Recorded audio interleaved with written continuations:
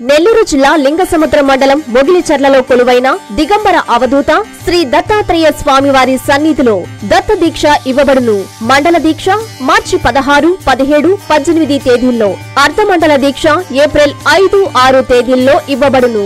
స్వీకరించదలచిన భక్తులు దత్తాత్రేయ స్వామి మందిరం వద్దకు చేరుకోవాలని కోరుచున్నాము. దీక్షలో ఉన్న స్వాములకు మధ్యాహ్నం రాత్రి వేళల్లో ఉచిత ఆహార ప్రసాదములు ఏర్పాటు చేయబడ్డాయి. ఏప్రిల్ ఇరవై ఆరున జరిగే స్వామివారి కలస మహోత్సవంలో దత్త దీక్షాదారులచే అభిషేకము చేయబడును. ఏప్రిల్ ఇరవై ఏడున జరిగే శ్రీ దత్తాత్రేయ స్వామి ఆరాధన మహోత్సవం రోజున దీక్ష విరమణ జరుగుతుంది. దీక్ష స్వీకరించి స్వామివారి కృపకు పాత్రులు కాగలరని కోరుచున్నాము. వివరాలకు double nine four nine seven five three six one five double nine zero eight nine seven three six double nine double nine four eight seven four two eight six five నంబర్లను సంప్రదించగలరు. ఇట్లు వ్యవస్థాపక ధర్మకర్త.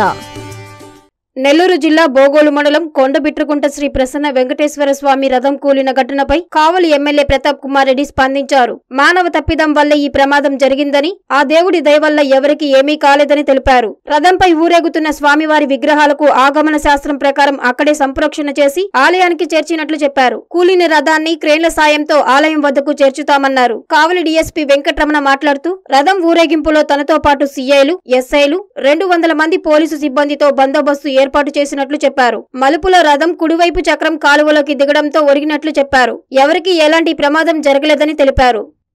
ఈరోజు శ్రీ ప్రసన్న వెంకటేశ్వర స్వామి కొట్ట పెట్టుకోకుండా ఆలయంలో రథోత్సవం జరుగుతున్న సందర్భంగా కొండ పెట్టుకోకుండా కానికి రథం పాత పెట్టుకోకుండా పోయి వచ్చేటప్పుడు మలుపుగా మానవ తప్పిదం వల్ల ఒక చక్రం ఒక కాలంలోకి దిగడం వల్ల అది అదుపు తప్పడం జరిగింది. శ్రీ ప్రకన్ ప్రసన్న వెంకటేశ్వర స్వామి దైవగా ఎవరికి కూడా ఏ హాని జరగలేదు ప్రాణ నష్టము జరగలేదు. అదేవిధంగా స్వామివారి విగ్రహాలు కూడా చాలా సేఫ్టీగా ఉన్నాయి. వాటన్నిటిని కూడా ఇప్పుడు పండితులు ఆగమన శాస్త్ర పండితుల సలహాల మేరకు వాటన్నిటిని కూడా తీసి సంకోషణం ఈరోజు ఇప్పుడు జరుగుతూ ఉంది.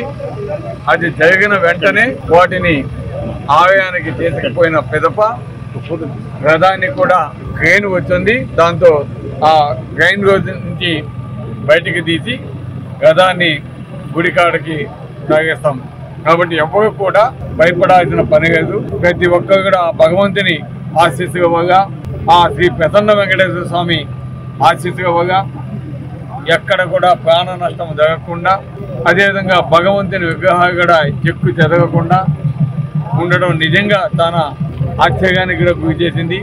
ఆ ప్రసన్న వెంకటేశ్వర స్వామి ఆశీస్సుగా ఇదంతా కూడా జరిగింది. ఎటువంటి ఇబ్బంది కాకుండా తప్పకుండా ప్రమాదవశాత్తు రథం ముందుకు రావడం జరిగింది. అదృష్టవశాత్తు ఎవరికి కూడా ఎలాంటి ఇబ్బంది లేదు ఎవరికి ఏం కాలేదు. మేము బందోబస్తుగా రథం చుట్టూ సుమారుగా ఒక అరవై మందిని పెట్టాము. కావలి రూరల్ సీఏ గారు కావలి వండాన్ సీఏ గారు తర్వాత ఉదయగిరి సీఏ గారు మరి ఎస్ఐలు నేను మా సిబ్బంది స్పెషల్ పార్టీ అందరూ కూడా చుట్టూ రథం చుట్టూ ఉన్నాము. ఈ చొప్పలు వేసే క్రమంలో అది కొద్దిగా స్లిప్ అయ్యి పక్కనే ఉన్నటువంటి చిన్న బురదగుంట్లోకి రథం యొక్క ముందరి రైట్ సైడ్ వీలు పొరపాట గుంతలోకి దిగడం జరిగింది. దానివల్ల రథము కొద్దిగా ముందుకు వాలి ఆగిపోయింది. దానికి క్రేన్స్ తెప్పించి దాన్ని మళ్ళీ రీప్లేస్ చేస్తున్నాము. విగ్రహాలు కూడా తీసుకొని వెళ్తున్నారు. ఎవరికి ఏమీ జరగలేదండి. నేను పర్వతిరెడ్డి చంద్రశేఖర్ రెడ్డి తూర్పు రాయలసీమ ఉపాధ్యాయ నియోజకవర్గం నుంచి ఎమ్మెల్సీగా పోటీ చేస్తున్నాను. గత ఇరవై ఎనిమిది సంవత్సరాల నుంచి ఒక ఎయిడెడ్ కాలేజీ లెక్చరర్గా విద్యాసంస్థల డైరెక్టర్గా అలానే రెడ్ క్రాస్ చైర్మన్గా అందరికీ అందుబాటులో ఉంటున్నాను. రాబోయే ఎమ్మెల్సీ ఎన్నికల్లో మీ మొదటి ప్రాధాన్యత ఓటు వేసి మంచి మెజార్టీతో గెలిపిస్తారని మిమ్మల్ని అందరినీ విజ్ఞప్తి చేస్తున్నాను. మీ అందరికీ అందుబాటులో ఉంటాను. మీ అన్నగా తమ్ముడిగా మీ ప్రతి సమస్యలో మీకు తోడుంటానని మనస్ఫూర్తిగా తెలియజేస్తున్నాను. మీ పర్వతిరెడ్డి చంద్రశేఖర్ రెడ్డి.